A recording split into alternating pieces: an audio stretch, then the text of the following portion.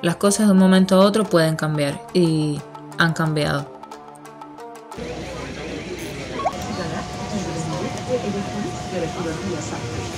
Otro nuevo comienzo. Pero este va a ser de verdad. La historia con detalles de este suceso será contada en el próximo video. Un video que sorprenderá a todos.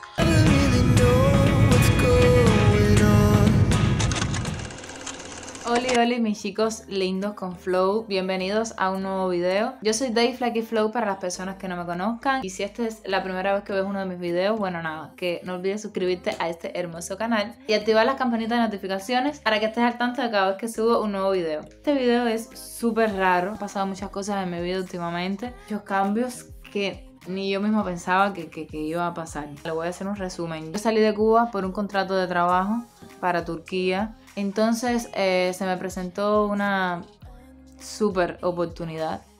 Ya sabrán a medida que vaya contándole. No pude dejar pasar esta oportunidad y sé que esto me trae consecuencias y traicioné a, bueno, eh, a personas y igual hice cosas que bueno, que no, que ya las hice y no me arrepiento de haberlas hecho.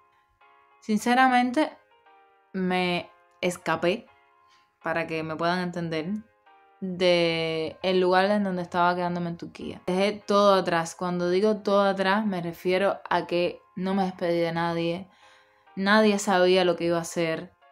Me fui literalmente sin ropa. Dejé todas mis maletas, mis maquillajes, mis zapatos, dejé todo, todo, todo que ya había empezado a hacer mi vida en Turquía. Dejé todo. Obviamente me dolió porque conocí amistades excelentes. No les puedo explicar lo que me dolió hacer esto. Pero bueno, uno tiene que dejar las cosas atrás y avanzar con ayuda de mi hermano me compró los boletos y entonces hice el viaje de Antalya, que era la ciudad donde yo estaba, hasta Estambul. Súper preocupada, súper raro fue todo porque era mi primer viaje sola, estaba sola literalmente con todo. Todo, todo, todo lo hice sola. Obviamente con ayudas, pero como tal en el lugar estaba sola. Cuando llegué hasta Estambul me mm, quedaba una sola hora y empecé con el corre-corre porque se me iba el avión. Ya al horario de, de partida, yo todavía seguía en el aeropuerto sin saber qué hacer. Después me di cuenta en la pizarrita que obviamente el vuelo mío, como estaba atrasado, lo habían eh, cambiado de horario. Le pusieron como, no sé, era a las, a las 14 y 5 minutos y entonces el vuelo lo cambiaron a las 17 y 40. Primeriza al fin me estresé, lloré, de todo, volví loca a la gente de ahí, no entendía nada de lo que me decían porque no se habla el inglés y para colmo los turcos hablan el inglés mal, peor que yo. Luego de todo ese desespero, de estresarme, de ir al baño 50 mil veces, de coger mucho estrés y, y volver a coger estrés, me di cuenta que la habían pospuesto y nada, todo muy bien. Después pusieron el número de la puerta y pasé a la aduana. Gracias a Dios ya me vi sentada en el avión cuando me senté en el avión fue que me comuniqué con las personas más cercanas y les dije que, no volvía al trabajo y que no me esperaran. Que nada, que, que me había ido. La gente súper preocupada por mí. De verdad que tenía que hacerlo así porque si no era así, no iba a lograr hacer lo que hice.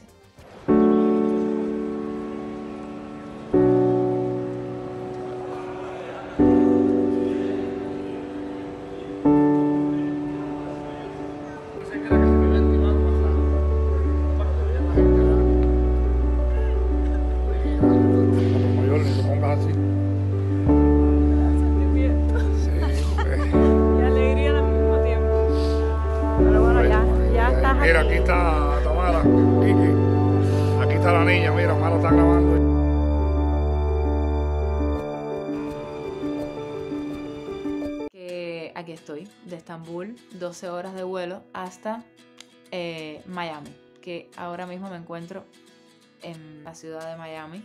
Llegué anoche muy cansada, muy estresada, pero bueno, ya estoy aquí.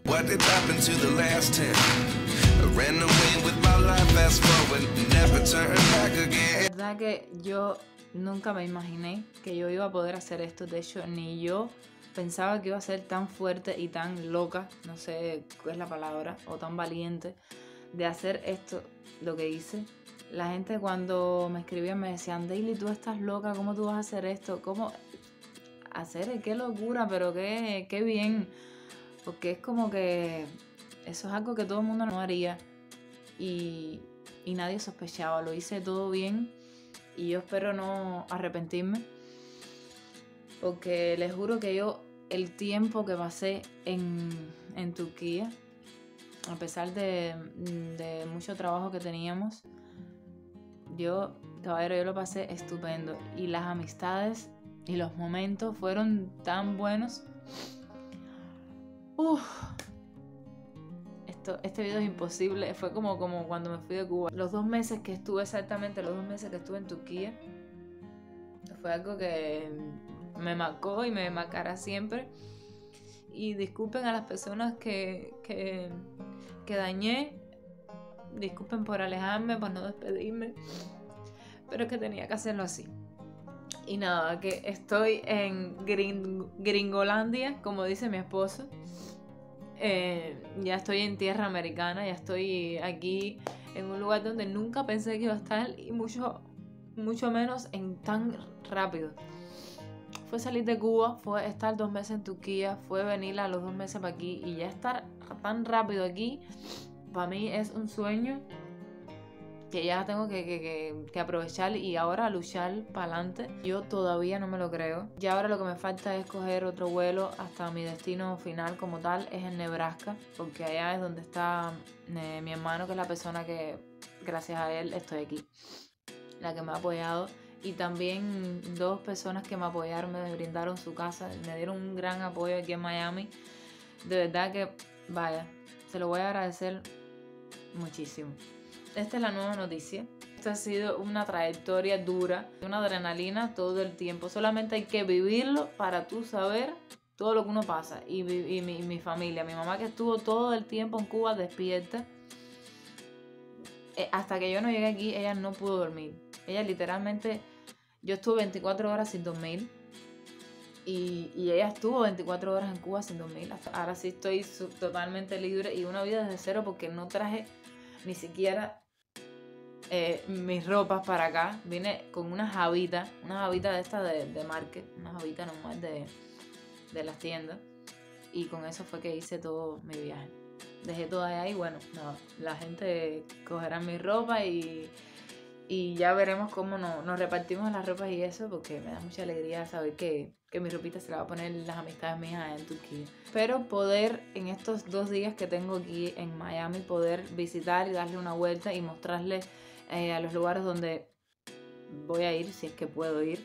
No sé si estaré todo el tiempo aquí en la casa o, o cómo se llama, o daré una vuelta por ahí. Pero bueno, trataré de grabarles todo y en caso de que no pueda hablarles porque en ese momento no puedo y que sea cosas rápidas, se lo dejo en voz, en off, como a ustedes les gusta, porque a ustedes les gustan eso, ese tipo de videitos. Por esos días me estaba quedando en la ciudad de Homestead, en Miami. Es un buen lugar para vivir en familia.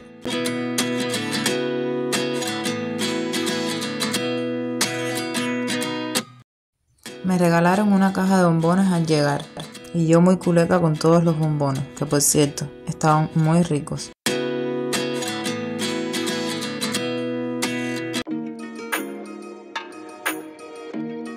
Aquí fue el primer lugar que me sacaron. Una tienda donde venden muchas cosas, pero principalmente me tenía que comprar ropa porque no tenía. Y bueno, las primeras compras al llegar a Estados Unidos.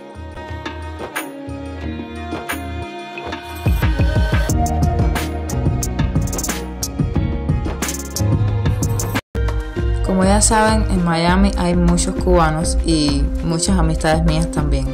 Y gracias a Dios me encontré un amigo mío que me sacó a pasear una mañana entera.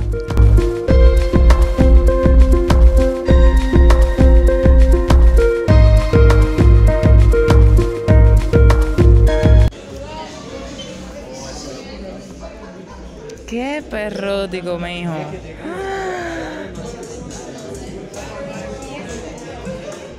Y el último ya está aquí.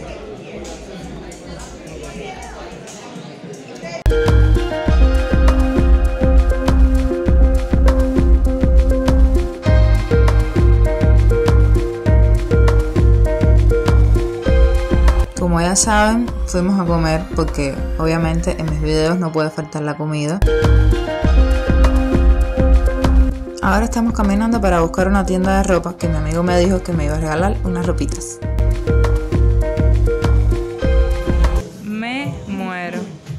Mira esa saya. Esto, que, a ver, para yo saber. Ay, mío, no, esto es demasiado perro. Me muero, me muero, me muero,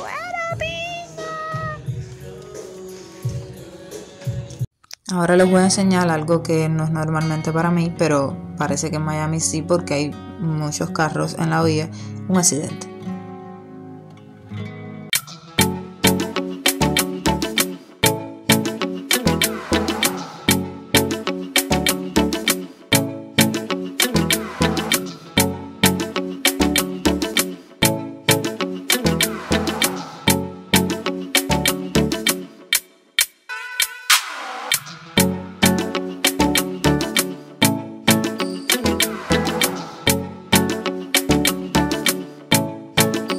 Pues llega la noche y me sacan a pasear. Yo obviamente poniéndome ropita nueva y estrenando.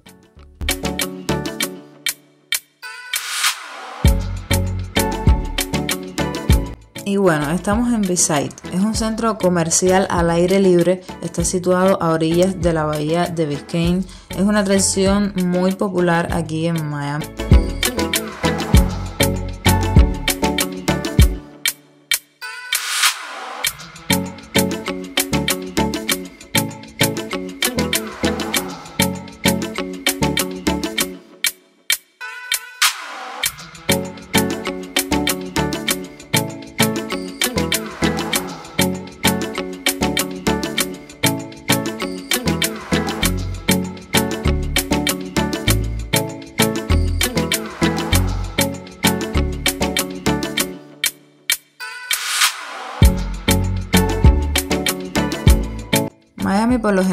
gustó mucho, mucho, mucho. Tiene muchas luces y mucha vida.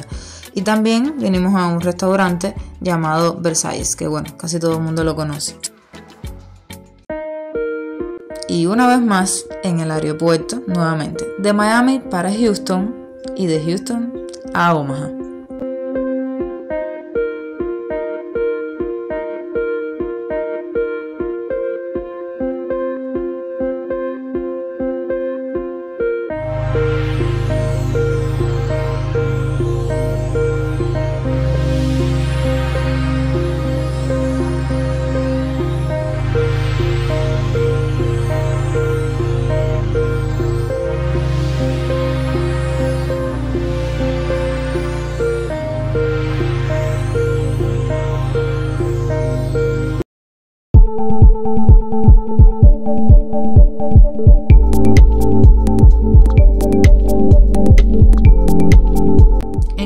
De Houston pasé un sustico, pero bueno, ya ha pasado el estrés y de haber ido 20 veces al baño por los nervios, me relajé y me compré una merienda y estuve esperando hasta que fuera la hora del último vuelo. Bueno, espero que sea el último.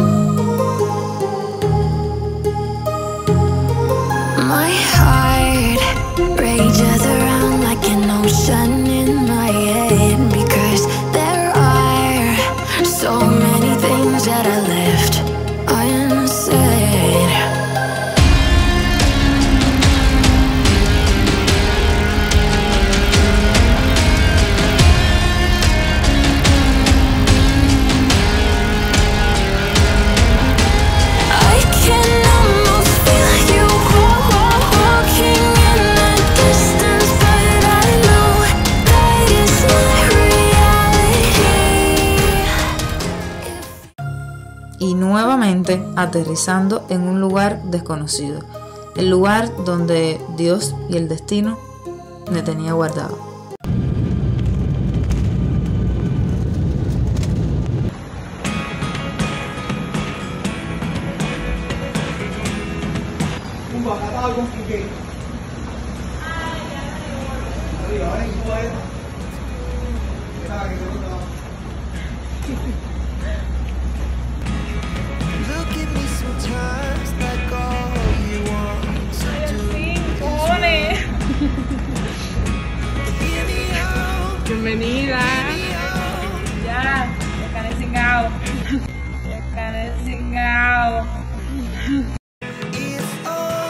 Y bueno chicos, en este momento ya me sentía más tranquila porque sabía que ya era mi nuevo hogar.